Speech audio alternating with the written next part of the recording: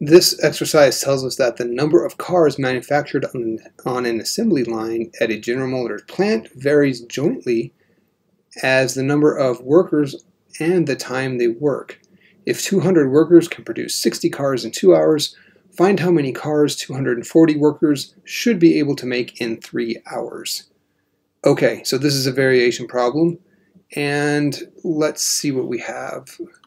It says joint right? So as soon as we see joint, we know it's of the form y equals kxz, right? It, y is changing the same as x and z are changing based on some constant in front there.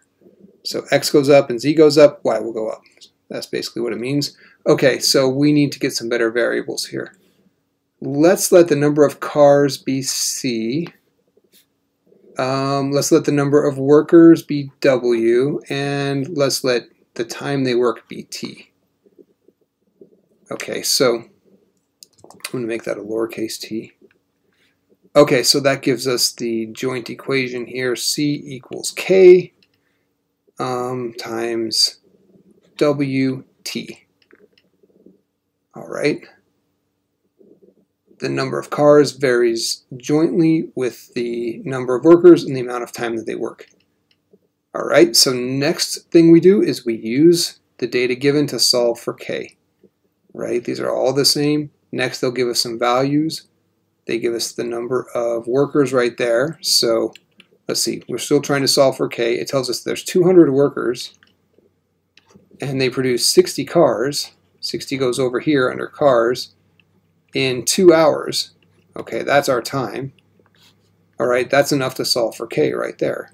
We have 60 equals k times 400. So k must be, I'm dividing both sides by 400, 60 over 400. When you have zeros on the top and bottom, you can cross them out like that. Um, so really we're just canceling a 10 when we do that. 6 40ths, and then let's factor a 2 out of both of those. So that would be 3 over 20. All right, so here's our new equation. The number of cars equals 3 twentieths times the number of workers and the time. Okay, and now, just like in all these variation problems, we'll use this equation that we've constructed to predict some new value.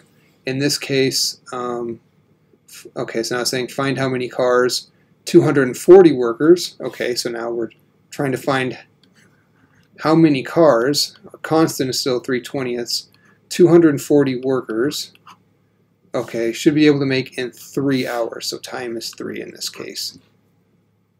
Alright, and it goes to the calculator, and what we get is 108.